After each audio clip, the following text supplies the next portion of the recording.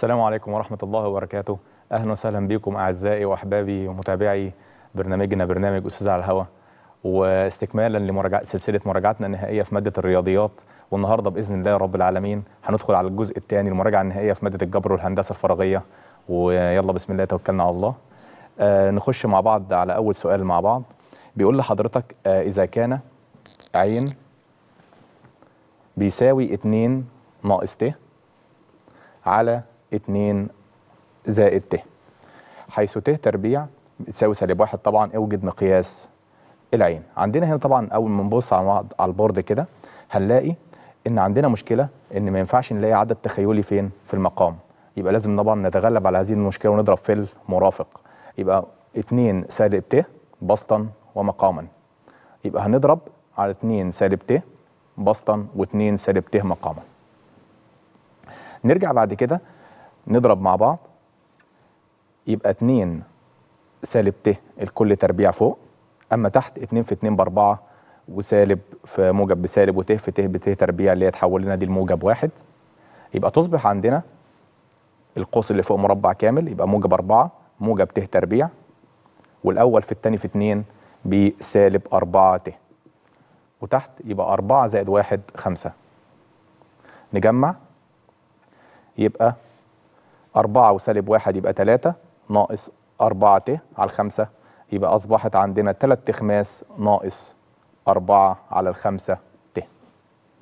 وبكده نقدر نجيب المقياس وأقدر أجيب الزاوية كمان اللي هي الساعة الأساسية لو هو عايزها مني هو طلب المقياس بس يبقى جذر س تربيع يبقى لام تساوي جذر س تربيع زائد ص تربيع يبقى جذر 3 على 5 تربيع زائد سالب 4 على 5 تربيع وعلى آلتنا يدينا واحد ويبقى الاختيارنا الاختيار د ندخل على السؤال اللي بعد كده.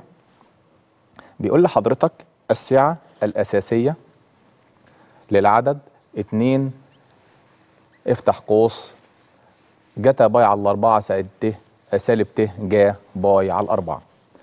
طبعا هنا ملاحظين طبعا إن الإشارة 2 على ال board كده جتا باي على الأربعة سالب ت جا باي على الأربعة. ملاحظين إيه معايا؟ ملاحظين طبعا الإشارة هنا سالب. يبقى دي مش على إيه؟ مش على الوضع الابتدائي أو الوضع أو على الصورة العامة للصورة المثلثية. يبقى لازم السالب ده يخش تبع الزاوية جوه.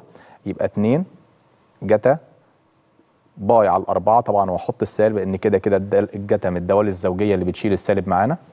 زائد ت جا سالب باي على الأربعة.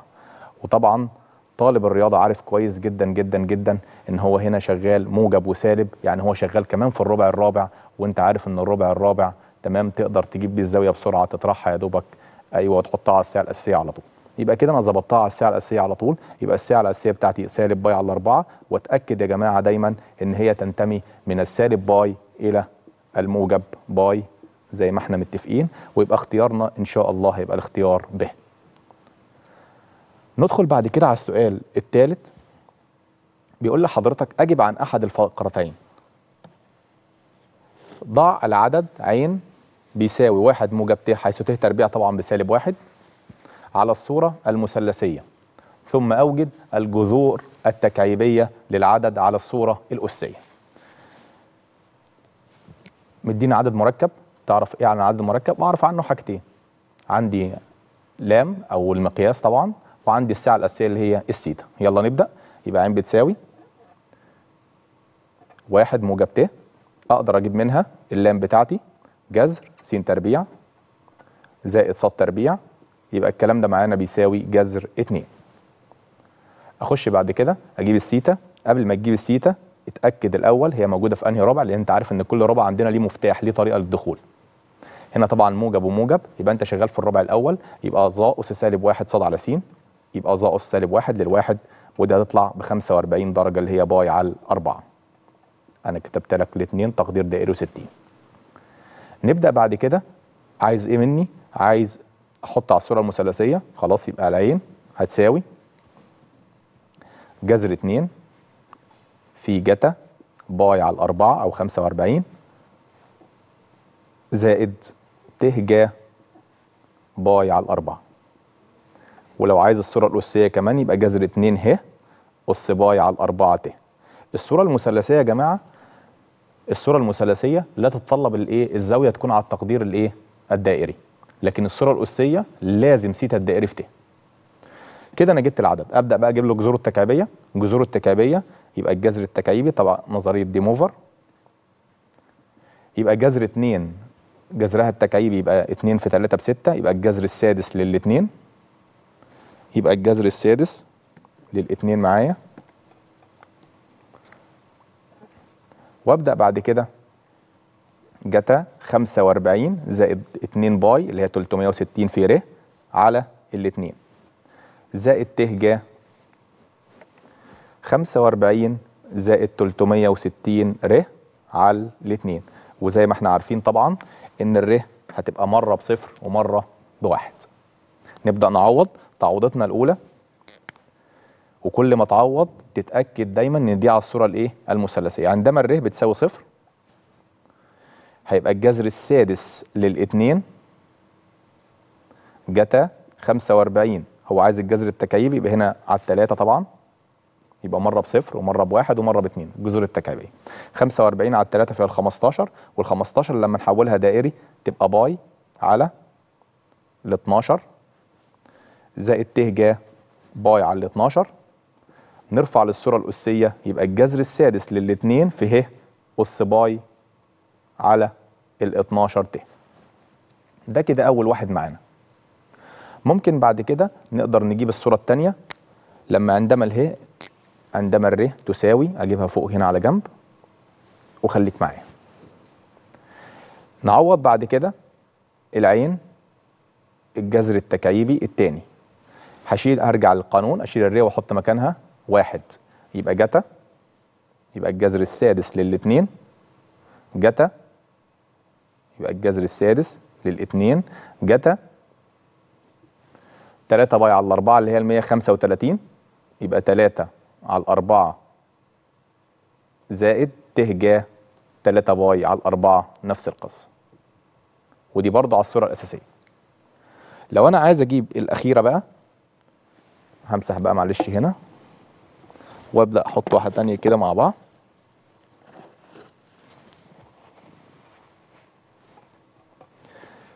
أبدأ أعوض التعويضة الأخيرة بالنسبة لي اللي هي عندما الر بتساوي 2 يبقى جذر التكعيب الثالث جذر 6 للاثنين وهنعوض آخر تعويضة معايا عندما الر بتساوي 2 أبدأ أعوض مكان الر ب 2 هتلاقي جتا 255 زائد ت جا 255 أيوه تمام. سامع واحد بيقول لي يا مستر 255 أكبر من 180 يبقى لا تنتمي للساعة الأساسية برافو عليك. يبقى نضطر نطرح منها دورة كاملة 360 هتبقى جتا سالب 105 وال 105 لما نحولها دائريا هتبقى بتساوي سالب تقريبا 7 باي على ال 12 يبقى أصبحت يبقى هنطرح منها وهنساويها يبقى هطرح منها أول حاجة 255 ناقص الدورة الكاملة 360 درجة تبقى سالب 105 سالب 105 حولها دائري سالب 105 يبقى هتبقى بتساوي جذر 6 هكتبها معلش على طول. ه أس سالب 7 على 12 ت. يبقى سالب 7 على 12 باي في ت.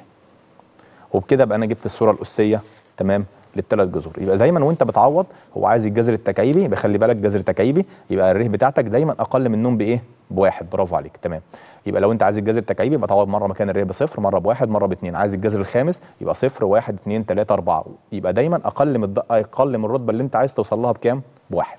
ودايما وانت بتعوض خلي بالك من موضوع الساعة الاساسيه لأن الساعة الاساسيه عليها نص درجة مهمة جدا.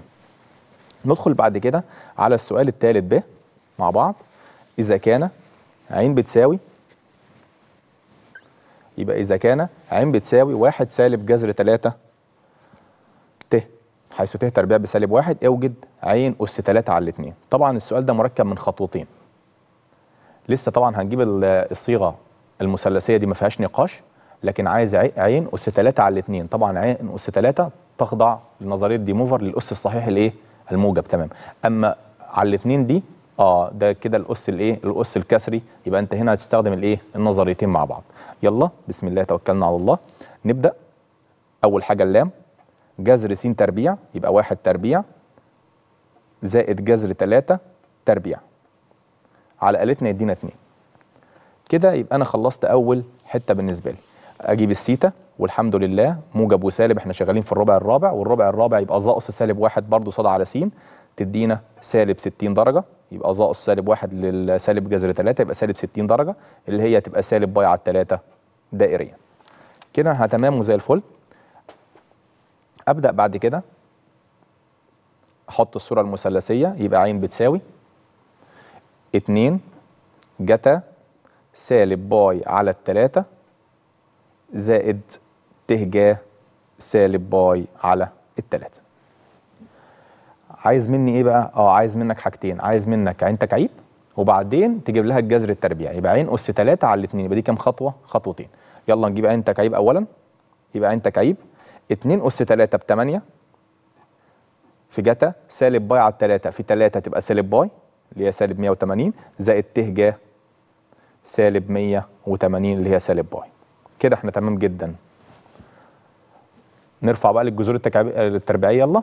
يبقى عين أس 3 على الاثنين جذر التربيع للثمانية 2 جذر 2 أما جتا تبقى سالب الباي طبعا 180 زائد 2 باي ر يبقى 360 في ر على الاثنين زائد ت جا نفس الكلام. يبقى سالب 180 زائد 360 ر على الاثنين وبكده أكون حطيتها. الر بقى بتاعتك يبقى أنا كده هكون حطيت على إيه؟ عين اس 3 على الاثنين ناقص لي التعويضتين مرة الر بصفر ومرة الر بواحد. ونبدأ برضو وانت بتعوض تبص على الساعة الايه؟ الأساسية. يلا يا سيدي. عندما الر بتساوي صفر يبقى 2 جذر 2 جتا سالب 180 على الاثنين يبقى سالب 90 اللي هي سالب باي على الاثنين زائد ت جا سالب باي على الاثنين ومحطوطه على الساعة الأساسية وزي الفل ما فيهاش أي مشكلة. ولو عايز نجيب لك الصورة الاسيه كمان يبقى 2 جذر 2 ه أس سالب باي على الاثنين ت يلا مكان الر يبقى عين اس 3 على الاثنين الجذر التربيعي الثاني يبقى 2 جذر 2 ومكان الر هنحط إيه؟ واحد. يبقى 360 في 1 ب 360 وسالب 180 يبقى 180 على الاثنين في 90 يبقى جتا باي على الاثنين زائد ت جا باي على الاثنين ودي برضو على الساعة الأساسية ومظبوطة. وصورتها المثلثية 2 جذر 2 ه اس باي على الاثنين ت. وبكده أكون خلصت سؤالي ما فيهوش أي مشكلة. يبقى دايما بص سنه سنة ثالثه الجزء بتاع الأعداد المركبة سهل جدا جدا جدا جدا. هو كله ثلاث أربع قوانين بس استخدمهم صح. أكنك بقى مايسترو كده في الرياضة بالراحة. ما تستعجلش وليش ضربات قلبك زادت عادي خالص بالراحة. أنت كل حاجة زي ما قبل كده رجعنا على التفاضل ورجعنا على الديناميكا وبرضه الاستاتيكا. كل حاجة ليها إيه؟ مفتاح ليه قانون أمشي عليه. أنت بتتكلم في أعداد إيه؟ أعداد مركبة. أعداد مركبة ما فيهاش غير إيه؟ حاجتين. أول حاجة طبعا مقياس وساعة عشان أبدأ أتنقل بين ال- بين الصور سواء مثلثية سواء أسية سواء جبرية. وبعدين نظرية ديموفر للأعداد الص... الاس الصحيح الموجب أو للكسور طبعا وهكذا. ندخل على السؤال رقم آه أربعة. خواص المحددات أثبت أن. طبعا في خواص المحددات سنة ثالثة لما يجي يقول لك بدون فك المحدد بدون فك المحدد يبقى أنت عارف إن في النهاية لازم توصل لإيه؟ للصورة المس... إيه؟ للصورة المثلثة للمحدد اللي هي حاصل ضرب عناصر القطر الرئيسي على طول تخلص يبقى إذا قال- إذا قال لك بدون بدون فك المحدد بدون فك المحدد أثبت أن يبقى أنت عارف إن نهايتك هتكون هتقعد تلف وتدور حوالين الصورة الإيه المثلثة لكن لو قال لك باستخدام الخواص أثبت أن يبقى أنت حر ممكن توصلها لفترة معينة وفي الآخر تستخدم خاصية من الخواص إنك تفك يلا نبص هنا. المحدد اللي قدامك دوت في المحدد اللي قدامك أثبت أن المحدد موجود. 3 في 3 1 1 1 س صاد س س سالب س سالب صاد. ده كده الطرف الأيمن بتاعي. من الطرف الأيمن عايز حضرتك تعمل إيه؟ عايز توصل لس تربيع سالب صاد تربيع. طبعا الطرف الأيمن الطرف دوت لو بصيت عليه هلاقي هنا واحد وهنا برضو واحد وهنا برضو واحد. يبقى الشغل كده أعمدة. هلاحظ كمان إن هنا س وهنا برضو نفسها في العمود الثالث يبقى أنا هنا لو ضربت العمود الأولاني في سالب واحد وجيت جمعته على الثاني والثالث هحصل هنا على صفر وهحصل هنا برضو على صفر. وهنا دي هتطير مع دي برضو يبقى هنا صفر يبقى صورة إيه؟ مثلثة. يبقى الشغل على الأعمدة لأن هنا واحد واحد واحد متساويين. يبقى لما أجي أضرب في ده في سالب واحد وأجمعه على هنا وأجمعه على هنا يبقى أنا كده حصلت على أول صفرين. وكمان هتلاقي هنا س وهنا س برضو متشابهين. يبقى لما أجي اضرب أضرب في سالب وأجمع على العمود الثالث أكيد هتطير وتدينا في العمود الثالث في العمود الثالث صفر. نبدأ يلا ونشوف هنوصل ليه. يبقى بضرب عين واحد العمود الأول في سالب واحد. والجمع على عين اتنين وعين تلاتة. خلي بالنا يا سنة انت كويس طبعا المفروض المعلومة دي إحنا إيه حافظينها كويس بس بنأكد عليها. إنك لك اللي بتضرب فيه ده ما بيتغيرش ده ثابت. لكن اللي بتجمع عليه بقى هو اللي بيتغير. يبقى العمود الأولاني ده كده مالكش دعوة بيه خالص. واحد س س ده كده مالكش دعوة بيه نهائيا. اللي هتجمع عليه بقى هو اللي هيتغير معاك. نضرب في سالب واحد ونجمع هنا يبقى صفر. هضرب في سالب واحد يبقى سالب س واجمع هنا يبقى سالب س موجب ص هاخد السالب عامل مشترك يبقى سالب س ناقص ص هضرب هنا يبقى سالب س واجي اجمعه هنا سالب س يبقى سالب 2 س كده إحنا تمام. نخش على الأخراني أضرب في سالب واحد واجمع. سالب واحد وموجب واحد برضه صفر. سالب س وهنا موجب س هيدينا برضه صفر. سالب س وهنا سالب ص يبقى سالب س سالب ص آخد السالب عامل مشترك يبقى س موجب ص أعتقد كده أنا وصلت للحتة اللي أنا بدور عليها اللي هي الصورة الإيه؟ المثلثة. كده أنا تمام وزي الفل. أبدأ بقى حاصل ضرب عناصر القطر الرئيسي يبقى محدد على الصورة المثلثة. يبقى حاصل ضرب عناصر القطر الرئيسي واحد في سالب س ناقص ص في سالب س زائد ص سالب في سالب طبعا بموجب س ناقص ص وس زائد ص ده فرق مربعين يضربوا في بعض يبقى س في س بس تربيع وسالب ص في موجب ص بسالب ص تربيع وبيساوي الطرف الأيسر وهو المطلوب إثباته. كده طبعا الدنيا سهلة. وطبعا إحنا خل... خلي بالكم إحنا في الجزء الأول مأكدين النوعية دي يا جماعة بتيجي كتير جدا في الامتحان والمرة اللي فاتت خدنا عليها اثنين تقريبا شداد شوية أو صعبين شوية خلي بالك من النوعيات دي لأن هي دي اللي بيدور عليها مجمل الأحداث بالنسبة لإثباتات إيه؟ لإثباتات المحددات. ندخل على رقم أربعة مع بعض. بيقول لحضرتك معادلة الكرة هندسة فراغية، معادلة الكرة التي مركزها 2 وصفر وصفر وتمس المستوى الإحداثي صدعين. أيوه الحتة التكية بقى بتاعت تمس. تمس المستوى الأحداثي صدعين. يبقى تمس المستوى الأحداثي صدعين يبقى أيوه نق بيساوي مقياس السين. تمس س ص يبقى النق بيساوي مقياس العين. تمس س عين يبقى النق بتاعك مقياس الإيه؟ الصاد. ولو مست الثلاث محاور يبقى النق بيساوي مقياس السين مقياس الصاد مقياس العين. يبقى أنت كده عرفت معنى كلمة إيه؟ تمس. يبقى معادلة مركزها نكتب الصورة القياسية مع بعض ونشوف ربنا يكرمنا. يبقى الصورة القياسية. يبقى س ناقص تربيع. بص أنا بعملها إزاي؟ ص ناقص تربيع عين ناقص تربيع. المركز بتاعنا قال لحضرتك 2 وصفر وصفر يبقى 2 صفر صفر. كل الكلام ده بيساوي إيه يا مستر؟ بيساوي نق تربيع. وإحنا قلنا نق تربيع آه هي بتمس صاد عين يبقى النق بيساوي مقياس السين. والسين عندنا بكام؟ باتنين. يبقى النق بتاعتنا باتنين يبقى نق تربيع بكام؟ بأربعة. يبقى س ناقص 2 تربيع. زائد ص تربيع زائد عين تربيع كل الكلام ده بيساوي كام؟ أربعة. طبعا دي كده الصورة الإيه؟ القياسية. لقيتها في الاختيارات خير وبركة، ما لقيتهاش في الاختيارات ابتدي فك القوس وجمع عشان تجيب الصورة الإيه؟ العامة. هنبص في الاختيارات عندنا هنلاقي اختيار ج يبقى الاختيار ج س ناقص 2 لكل تربيع زائد ص تربيع زائد عين تربيع بيساوي أربعة. نبدأ ندخل على السؤال السادس نقطة منتصف القطعة د ه حيث د باثنين وثلاثة وثلاثة واله بستة وسالب واحد وسالب خمسة. طبعا المنتصف ده قانون بدائي أنت واخده في ثالثة إعدادي واخده تاني في أولى ثانوي. كلمة منتصف ببساطة كل ما أقول لك كلمة نص اجمع واقسم على الاثنين. كل ما أقول لك كلمة نص اجمع واقسم على الاثنين. كل ما أقول لك كلمة نص اجمع واقسم على الاثنين. أي حاجة يا جماعة عايز تجيب لها المتوسط إحداث نقطة المنتصف اجمع القيم دي واقسمهم على عددهم. أنت هنا عندك نقطتين يبقى عايز تجيب المنتصف اجمعهم واقسمهم على إيه؟ على الاثنين. برضه في نقطة متوسط المثلث.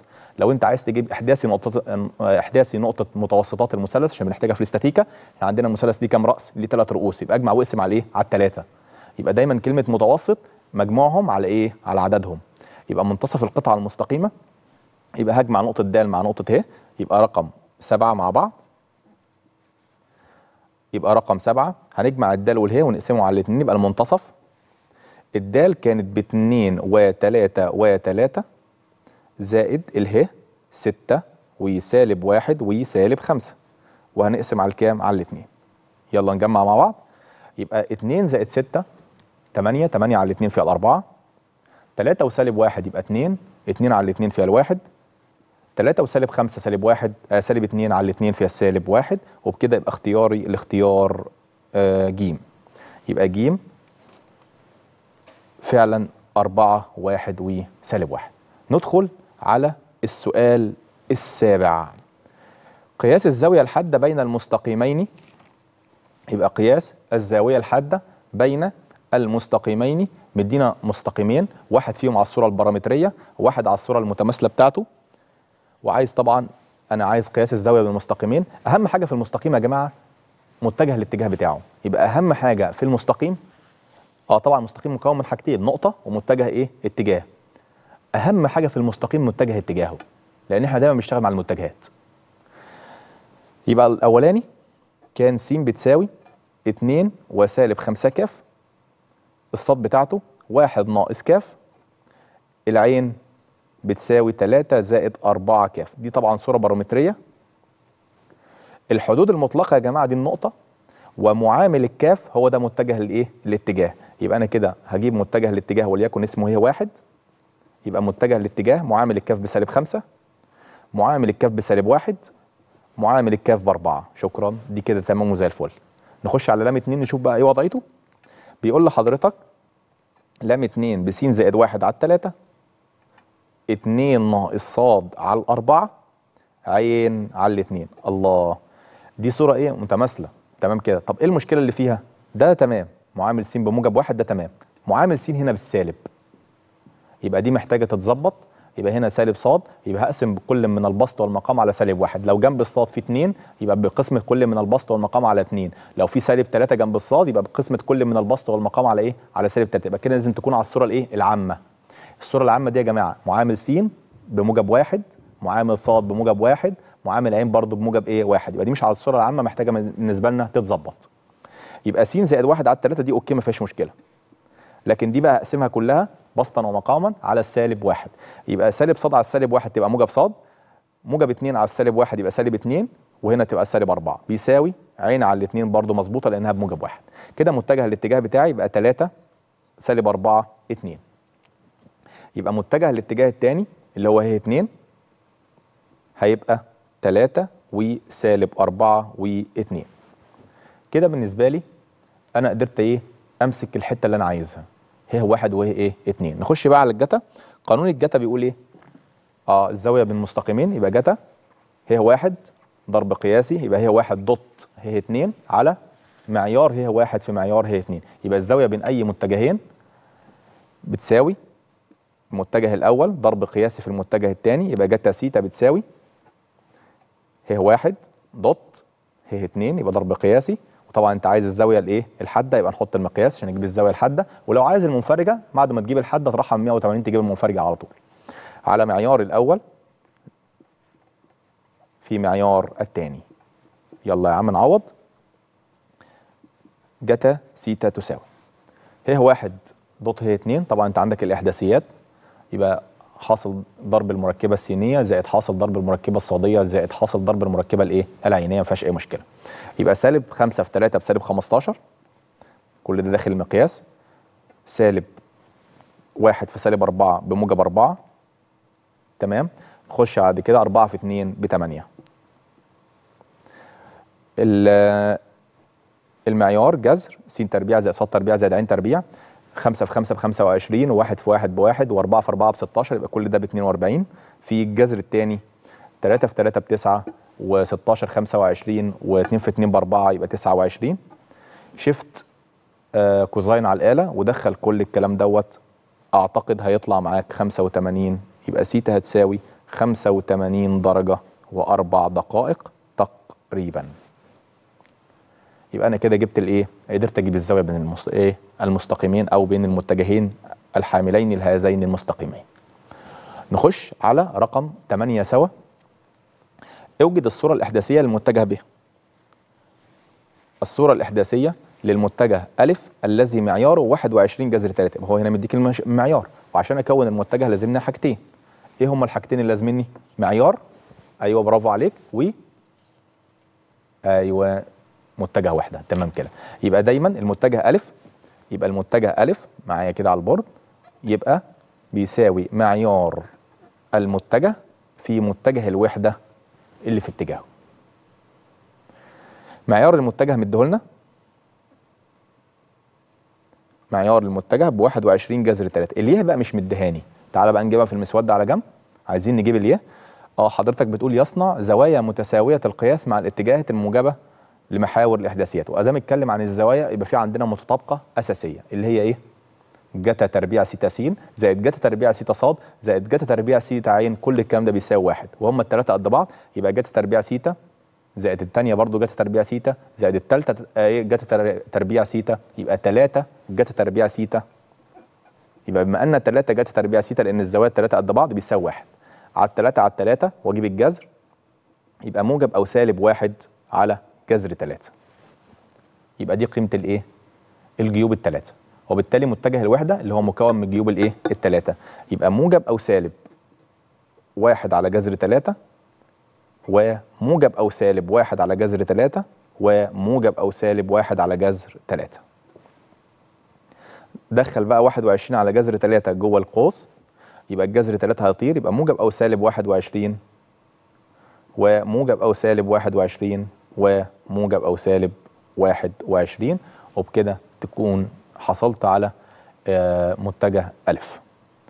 ندخل على السؤال الثامن سوا. بيقول لحضرتك أوجد مساحة متوازي الأضلاع. آه مساحة متوازي الأضلاع ومساحة المثلث طبعا. آه مساحة متوازي الأضلاع هو إيه؟ حاصل ضرب الاتجاهي أو مقياس أو معيار بمعنى أصح. عشان إحنا بنتكلم على متجهات. يبقى معيار حاصل الضرب الاتجاهي الألف ب. حيث مين ألف وب أيوه متجهين خارجين من ضلعين متجاورين. يبقى المتجهين الحاملين لضلعين متجاورين أو ضلعين خارجين من نفس الإيه؟ الرأس. طب والمثلث؟ نص المتوازي. يبقى لو طلب من حضرتك المثلث هتجيب برضه حاصل ضرب الاتجاه وتجيب معيار وبعدين تجيب لنا نصه. يبقى أنت حصلت على الإيه؟ على مساحة المثلث. يلا يبقى هنا عندنا متجه ألف. يبقى بما أن مساحة المتوازي مساحة متوازي الأضلاع بيساوي ألف كروس الب وبعد ما اضربهم ضرب اتجاهي بإذن الله هجيب لهم المعيار بجذر س تربيع زائد ص تربيع زائد ع تربيع. يلا نجيب محددنا. محدد مركبات السينية والصادية والعينية.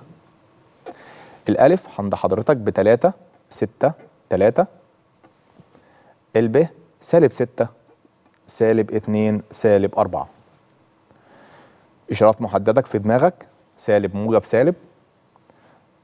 يبقى هنا أو لو أنت تفك بدالة الصف التاني هفك طبعا بالأول موجب سالب موجب. يبقى الموجب في الأولاني وخبي العمود الأولاني. ستة في سالب أربعة بسالب أربعة وعشرين. ناقص سالب ستة يدينا سالب 18 خبي التاني وخلي بالك إن هنا في إشارة سالبة عشان هنعمل حسابها في الآخر.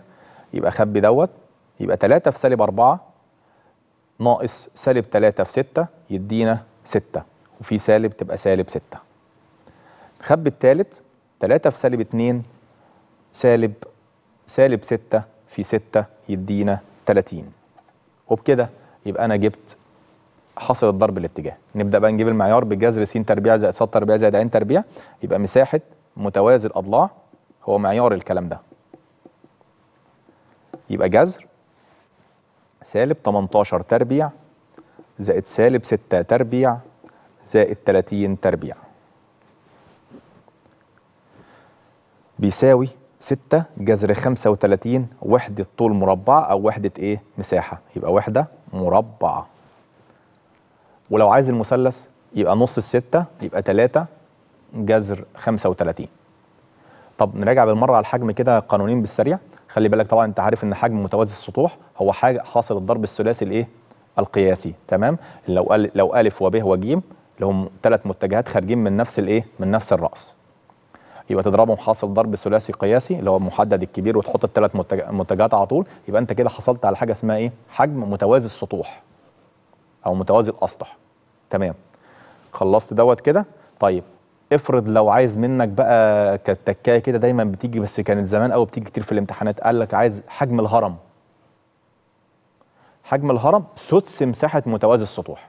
يبقى بدل بعد ما تجيب متوازي السطوح زي ما أنت فاهم كويس جدا جدا جدا يبقى بعد ما تجيب متوازي السطوح وأنت حصلت على المساحة مثلا سي مثلا طلعت 60 يبقى تضربها في سدس تقسمها على 6 يبقى الهرم ب 10 تمام كده؟ يبقى أنت خلي بالك من القانونين دول عشان مهمين خصوصا قانون الهرم. ساعات لما بيحب يقرص عليك شوية في الامتحان ما بيجيبش متوازي الاسطح يجيب الإيه؟ الهرم. ندخل على اللي بعد. كده بيقول لحضرتك س 10 بيقول لك جيوب تمام. الاتجاه للمستقيم الذي نسب اتجاهه سالب واحد واثنين وثلاثة يلا يا سيدي. آه عايز جيوب تمام الاتجاه وجيوب تمام الاتجاه اللي هي مين؟ متجه الوحدة يبقى متجه الوحدة على البورد اهو يه بتساوي المتجه على معياره. المتجه بتاعنا سالب واحد و اتنين وتلاتة على معياره. جذر س تربيع يبقى واحد تربيع بواحد زائد ص تربيع اتنين في اتنين بأربعة يبقى كده خمسة وتلاتة في تلاتة بتسعة نجمعهم يبقى جذر 14 يبقى سالب واحد على جذر 14 واثنين على جذر 14 وثلاثة على جذر 14 ويبقى اختيارنا لاختيار ج يبقى سالب واحد على جذر 14 اتنين على جذر 14 تلاتة على جذر 14 كده يبقى السؤال ده انتهى ونخش على السؤال اللي بعده. عدد الطرق عدد طرق اختيار رجعنا تاني لمبدأ العد. عدد طرق اختيار حرفين أو. طبعا بتاع الرياضة كويس قوي عارف كلمة أو دي بتعني إيه. أو ثلاثة أحرف مختلفه آه، مختلفين. معا. من عناصر المجموعة. طبعا إحنا يهمنا كبتوع رياضة في إحلال ولا ما فيش إحلال؟ طبعا هو حدد وقال كلمة مختلفين. خلاص يبقى كده ما فيش إحلال. يبقى عدم الإحلال. في ترتيب للسحب ولا ما فيش؟ قال لك معا. يبقى كده عدم الترتيب. يبقى عدم وعدم يبقى أنت في الإيه؟ في التوفيق يبقى عدم الإحلال وعدم كمان الإيه؟ التكرار. آه عدم الإحلال قصدي آسف وعدم الترتيب. يبقى أنت هتسحبهم مع بعض وقلت مختلفين. يبقى شكرا أنا في درس التوفيق عندك كام حرف؟ ألف وب وج ودال وه واو. يبقى ست أحرف. يبقى ست أحرف. هختار منهم اتنين. أو اداه العطف. أو تعني إيه؟ أيوه برافو عليك تمام. يبقى زائد. ولو قال و يبقى في. يبقى لو قال و يبقى لو عطف بوا أضرب. لو قال أو أجمع. يبقى هنا أو أو يبقى زائد ستة قاف تلاتة. يبقى اتنين ستة. أختار منهم اتنين. أو ستة. أختار منهم تلاتة. ويبقى اختيارنا اختيار جيم. ندخل على السؤال رقم 12 بيقول لحضرتك هنا إيه؟ إذا كان نون زائد 2 قاف 4 يبقى نون زائد 2 قاف 4 بيساوي نون تربيع ناقص واحد. عايز مننا إيه؟ عايز قيمة نون. يلا يا سيدي نجيب قيمة نون. نون زائد 2 قاف 4 بيساوي نون لام 2 يبقى نون زائد 2 لام 4 على مضروب الأربعة اللي هو ب 24 صح كده؟ بيساوي نون تربيع ناقص واحد. أبدأ أفك آه، اللام نون زائد 2 أقف عند المضروب ده وعايز منه كام فكة؟ أربع فكات. يبقى نون زائد 2 وفك منه بعديها نون زائد آه، نون زائد واحد يبقى كل مرة تنازليا بتنقص إيه؟ واحد. نون بس وبعدين نون ناقص واحد. كده دول أربع فكات. على 24 كل الكلام ده حضرتك بيساوي نون تربيع ناقص واحد لما تتحلل يبقى نون زائد واحد في نون سالب واحد. يبقى نون ونون موجب واحد وسالب واحد. اختصر. يبقى نون زائد اتنين هتطير من هنا. معلش آسف نون زائد واحد هتطير مع نون زائد واحد. هنطير كمان نون ناقص واحد مع نون ناقص واحد. يتبقى لنا نون زائد اتنين. يبقى يتبقى لنا نون زائد اتنين في نون. يبقى نون تربيع زائد اتنين نون. على 24 كل الكلام ده بيساوي واحد. طرفين في وسطين وخلي المعادلة صفرية وحلال. يبقى طرفين في وسطين يبقى نون تربيع زائد 2 نون بيساوي 24 تخش جوه ال 24 تبقى سالب 24 بيساوي صفر. يبقى نون ونون. 4 في 6 الكبير مثل الأوسط الثاني ياخد عكسه. يبقى إما النون بتساوي موجب 4 أو النون بتساوي سالب 6 كده أنت وقفت واقفة زي الفل. تمام؟ ما تتسرعش بقى وترفض. ألاقي واحد طلعت سالب يروح رافضها. انت السالب أو الموجب أو تقبل أو ترفض ده بناء على التعويض في المعادلة الأساسية. يبقى خلي بالك إن التوافيق لازم اللي فوق واللي تحت يكونوا ينتموا لصاد الإيه؟ الموجبة. يبقى ده شرط أساسي ما فيهوش نقاش. إيه تاني؟ آه اللي تحت يكون أقل من أو يساوي اللي فوق. يبقى بص كام شرط؟ شرطين. يبقى الايه معايا كده على البورد طلعت معانا بأربعة وطلعت معانا بإيه؟ بسالب و... بسالب ستة. ما تروحش بقى ترفض السالب ستة. لا عوض الأول يمكن تطلع بالموجب. يبقى هنا عوض بيها سالب 6 زائد 2 يدينا كام؟ سالب 4 يبقى خلاص ده أوكي أرفض وأنت مطمن. طيب تمام. إيه تاني؟ النون بتساوي 4 هعوض برضه أشوف آه 4 زائد 2 6 يبقى كده بالموجب. عديت من الشرط الأول. الستة بقى مش أكبر من الأربعة؟ أكبر من الأربعة. يبقى كده ده مقبول. طب لو كان مثلا مثلا يعني طلع الستة مثلا دي أقل وتحت 8 يبقى الستة أكبر من 8 لا يبقى مرفوض. يبقى هو عدى من الاختبار الأول يبقى إحنا عندنا كام اختبار؟ اختبارين. لازم تعدي الاثنين ما ينفعش تعدي من واحد وايه وتسقط في الثاني ما ينفعش. يبقى كده النون بتاعتنا أصبحت بكام؟ بأربعة. ويبقى اختيارنا لاختيار ب. ونبدأ نختار. ندخل على حبيبة الكل طبعا ذات الحدين. وذات الحدين طبعا من دروس سهلة جدا بس هي مملة شوية طويلة شوية في الحل. بس طبعا سهلة جدا أهم حاجة تركز تاكل جزر كويس جدا ليلة الامتحان عشان تخلي بالك من إيه؟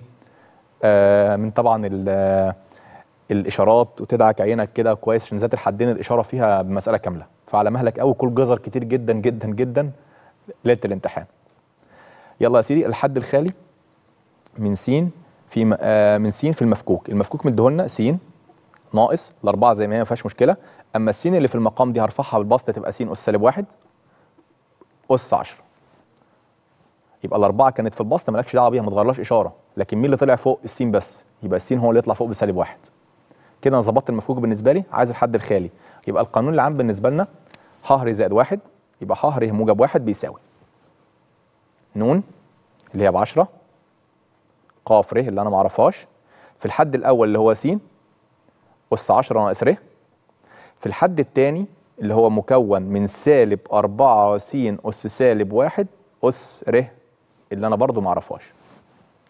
أبتدي أوزع دول من جنب بعض وأجمع السينات عشان أعرف قيمة الحد الخالي. يبقى ح ر زائد واحد بيساوي 10 ق ر تنزل س أس 10 ناقص ر تنزل. سالب 4 أس ر دي ما أعرفهاش هوزعها وأجيبها في الأول هنا كده كمعامل. يبقى سالب 4 أس ر جت في الأول كده. والناحية الثانية س سالب واحد في ر بسالب ر يبقى سالب ر كده إحنا تمام جدا. خلاص ده كده بالنسبة لي اسمه إيه؟ معامل جدع. أنا بقى شغال على ده الحد الخالي من س يبقى ح ر زائد واحد هيساوي سالب 4 أس ر كل ده اسمه معامل. 10 ق ر ده معامل. هنا بقى س 10 سالب ر وسالب ر لأن طبعا في حالة الضرب بنجمع الأسس يبقى 10 سالب 2 ر. هو ده بقى اللي عليه الشغل كله. مرة أجي أقول لك أنا عايز الحد الإيه؟ الخالي. يبقى ده خالي يعني بصفر. مرة أقول لك المعامل الحد الخامس يبقى ده هنساويه بالخ الذي يحتوي أو المشتمل على س أس 5 يبقى 10 ناقص 2 تساويه بالخمسه مرة المشتمل على س أس 20 يبقى هتاخد برضو الأس دوت وتساويه بإيه؟ بال20 وهكذا. يبقى دايما يا جماعة الشغل كله على إيه؟ على الأس السيني ده. هو اللي عليه الشغل كله. يبقى 10 ناقص 2 ر هيساوي صفر لأن هو عايز الحد الإيه؟ الخالي. يلا نبدأ بقى نحل معادلتنا يبقى ر بتساوي كام؟ 5 يبقى كده أصبحت الر بتساوي كام؟ 5 عايز قيمة الحد الخالي؟ ارجع بقى عوض في القانون العام مكان الر بكام؟ بخمسة. هو طبعا عايز الحد بس هو أنهي حد؟ يبقى 5 زائد 1 كام؟ 6 يبقى الحد الخالي هو الحد السادس. ويبقى الاختيار بتاعنا ج نكمل مع ذات الحدين برضو. آه في المفكوك واحد زائد س أس ن إذا كان الحد الثالث بيساوي 17 يبقى إذا كان الحد الثالث بيساوي 17 و3 ح 2 ناقص آه أو في ح 4 بيساوي 544 يلا يا سيدي المفكوك قدامنا أهو. المفكوك الإيه؟ البيور النقي. أسهل مفكوك فيهم. اللي هو فيه واحد ده. يبقى طبعا هنا أول حاجة آه بيقول لحضرتك في شرط ابتدائي ح 3 بيساوي آه 17 ح 3 يبقى ن ق 2 يبقى ن ق 2 واحد أس ن ناقص اتنين طبعا ده بواحد ملوش قيمة. س أس ر اللي هي س أس اتنين. كل الكلام ده بيساوي 17 ودي معادلة أولى. المعادلة التانية بالنسبة لنا بيقول لحضرتك آه 3 ح 2 في ح 4 يبقى 3 تنزل. ح 2 اللي هي ن ق واحد. في س أس واحد. ح 4 اللي هي هتبقى ن ق 3 في س أس 3 كل الكلام دوت بيساوي معايا 544 ده كده المعادلة رقم 2 ظبط المعادلة دي في السريع عشان أبدأ أقسم. يبقى هنا 3 آه ن ق واحد طبعا اللي هي ن ونون ق 3 تنزل. س في س أس 4 آه في س أس 3 تبقى س أس 4 بيساوي 544 ودي اللي ممكن أسميها 2 كده أنا تمام وزي الفل واختصرت المعادلة دي وتمام جدا. أبدأ بقى عندي كده معادلتين شايف معايا كده على البورد أدي معادلة أولى اللي أنا مبروزها دي وأدي معادلة تانية أهي. بقسمة المعادلتين على بعض عشان أخلص من السين وأجيب كمان قانون النسبة هنا. يبقى بقسمة المعادلتين يبقى المعادلة الأولى 3 نون نون ق 3 على نون ق 2 يبقى نون ق 3 على نون ق 2 وده قانون طبعا النسبة بتاعي. س أس 4 على س تربيع يبقى س تربيع. كل الكلام دوت بيساوي 544 على ال 17 بتساوي 32 أبدأ أختصر يبقى 3 نون ينزل. طبعا قانون النسبة لازم يكون ليه ثلاث شروط. يبقى بص خلي بالك بقى نراجع قانون الجمع كده والطرح بسو... الجمع وال الجمع والتبسيط. هنا طبعا قانون التبسيط أو قانون الجمع نون ونون زائد واحد يبقى متشابهين متشابهين ومتتاليين. يبقى ده بالنسبة للجمع. بالنسبة للنسبة ثلاث حاجات. متشابهين يبقى نون نون أهو. نون نون. متتاليين اتنين وتلاتة اهم والأكبر فوق. يبقى لازم الكبير يبقى إيه؟ فوق. يا إما تستخدم مقلوب القانون. يبقى هنا مع بعض ده متحقق في كل الشروط نون نون نفس التوفيق. يبقى دي الشرط الأول. متتاليين اتنين وتلاتة. الأكبر فوق يبقى الثلاث شروط متحققة. يبقى ن ناقص ر زائد واحد على ر. حيث النو حيث الر رتبة الحد. أيوه برافو عليك الأكبر. لكن في ذات الحدين نفس القانون بتاع النسبة زي... النسبة بين حدين في ذات الحدين. ن ناقص ر زائد واحد على ر. في الحد الثاني على الحد الأول. بس الر هنا هناك مين؟ آه أيوه تمام. الر هناك بتساوي. رتبة الحد الأصغر. يبقى في التوافيق رتبة الحد الأكبر. في ذات الحدين رتبة الحد الإيه؟ الأصغر. يبقى هنا ن رتبة الحد الأكبر بتلاتة. يبقى ن ناقص تلاتة زائد اتنين زائد واحد. يبقى ن ناقص اتنين على آه التلاتة. يبقى ن ناقص اتنين زائد آه ن ناقص اتنين على التلاتة. والسين تربيع تنزل زي ما هي بيساوي اتنين وتلاتين هطير التلاتة مع التلاتة. يبقى أصبح المعادلة التالتة بالنسبة لي هتبقى على صورة ن في ن ناقص اتنين في س تربيع بيساوي 32 ودي كده أقدر أسميها 3 بص بقى كده على التلاتة. وعلى واحد. هتلاقي هما الاتنين في بينهم إيه؟ س تربيع. يبقى ممكن نقسمهم على بعض وأخلص من س تربيع على طول. يبقى بقسم التلاتة على واحد. يبقى بقسم التلاتة على واحد يبقى نون. نون في نون ناقص اتنين. وس تربيع طبعا على س تربيع طارت نون ق 2 اللي هي نون لام 2 نون لام 2 على الاثنين كل الكلام ده بيساوي 32 على ال 17 كده إحنا تمام؟ في مشكلة؟ كلنا فاهمين. نبدأ نكمل بقى. يلا يا سيدي.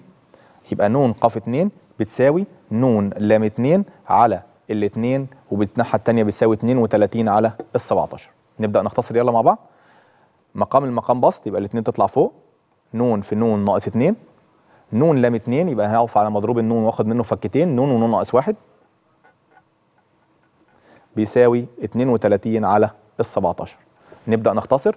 النون تروح مع النون وهنا على الاثنين فيها الواحد الناحية الثانية على الاثنين فيها ال 16 يبقى النون ناقص 2 على نون ناقص 1 بيساوي 16 على 17 كده إحنا كويس جدا جدا جدا. طرفين في وسطين بقى ولم النون في ناحية ولم الأرقام في ناحية. يبقى نون في 17 ب 17 نون ناقص 34 بيساوي 16 نون ناقص 16 نجمع النون في طرف والأرقام في الطرف الثاني هيطلع عندنا النون بتساوي مم، 18 يبقى النون بتساوي 18 كده أنا جبت قيمة إيه؟ نون. ارجع بقى عوض في أي معادلة تعجبك. طبعا هختار المعادلة الأولى. ممكن الأولى سهلة وممكن برضو الثالثه سهلة. أنت حر بقى أي واحدة في الاثنين عوض فيها.